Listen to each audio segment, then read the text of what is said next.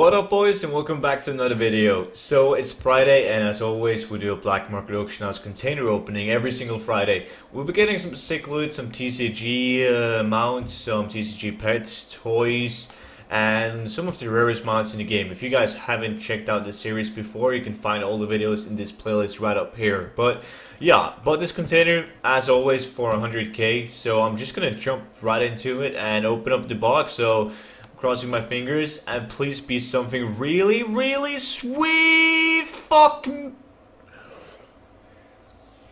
That's that's how you waste a hundred thousand gold in uh, the less than thirty seconds. That that actually that that stings. That really stings. But I know the risk. There's more bad items than good items. But uh, you guys like the opening videos, and I like doing them as well. So. Uh, that is basically it for today's Black Market Auction House opening.